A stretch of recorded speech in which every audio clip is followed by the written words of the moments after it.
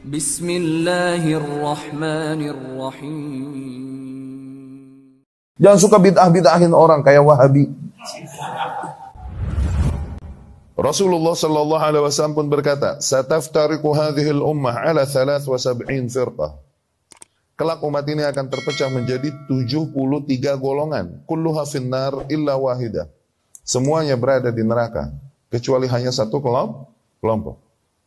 Hada khabar minhu sallallahu alaihi wasallam. Ini jelas kabar dari Rasulullah sallallahu alaihi wasallam. Annahu sayahsulu sayahsulu iftiraqun fil ummati wa hasala kama akhbara sallallahu alaihi wasallam. Dan akan bahwasanya akan terjadi perpecahan di dalam umat dan kemudian akan terjadi sebagaimana dikhabarkan oleh Rasulullah sallallahu alaihi wasallam. Min ajli an nuthabbita 'ala al-haq min ajli an nathbut 'ala al-haq tujuannya Rasul menghabarkan hal ini agar kita memotivasi diri kita untuk sabat di atas hak min ajli an nathbut alal haq. Agar kita mengambil langkah sabat, teguh, tegar di atas yang hak wala nadhhab ma'al mukhalifin. Dan agar kita tidak mengambil jalan bersama orang-orang yang mukhalif yang mengingkari kebenar kebenaran meninggalkan jalan kebenar kebenaran. Nah, itu juga di antara bentuk keimanan kepada Rasulullah SAW adalah imani semua yang disampaikannya. Jangan pilih-pilih ketika nggak sesuai dengan selera kita pura-pura buta. Ini di antara yang dihindari untuk diimani oleh kaum muslimin adalah apa? Bahwasanya umat ini akan berpecah. Sebagian kaum ini nggak mau tahu. Udah kita bersatu, tuh gitu. dan kemudian menyerukan persatuan-persatuan ala mereka yang makna persatuan mereka adalah udah mix aja antara syirik dan tauhid, antara sunnah dan bid'ah, mix aja nggak apa-apa. Yang penting bersatu tuh. Ini persatuan ala mereka. Oke?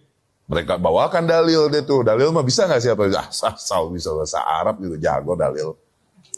Iya kan? Wa antasimu bihablillahi jami'an wa la tafarrahu. Ya. Berpegang teguhlah kita semua kepada tali Allah dan janganlah kalian semua kepada tali Allah dan janganlah kalian berpecah bah, berpecah belah.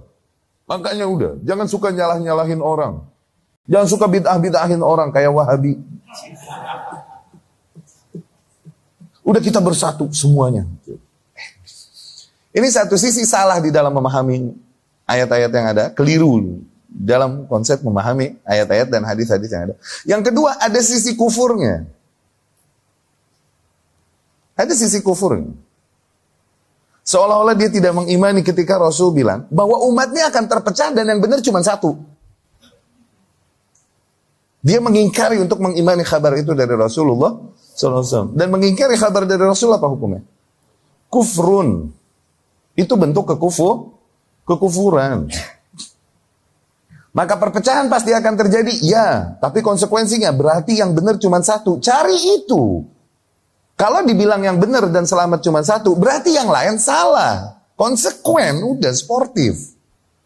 Siap mengatakan yang lain salah kalau yang benar satu. Tuh. Maka jalan hak, jalan keselamatan itu hanya satu. Itu di antara usul akidah yang pernah kita bahas juga di situ Duran. Ya, hanya satu. Maknanya apa? Selain jalan tersebut batil dan cilaka. Membawa kepada kecelah, kecelakaan.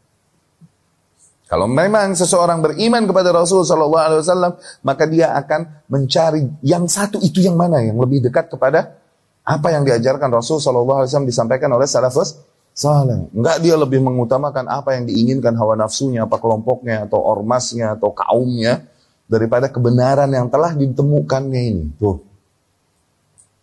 Kalau seseorang memang beriman kepada kabar yang dibawakan Rasulullah Sallallahu Ya, ini qadarullah kauniyah, bahwasanya umat akan terpecah. Sebagaimana terjadi juga pada umat-umat terdahulu, pada Yahudi dan pada Nasra, Nasrani.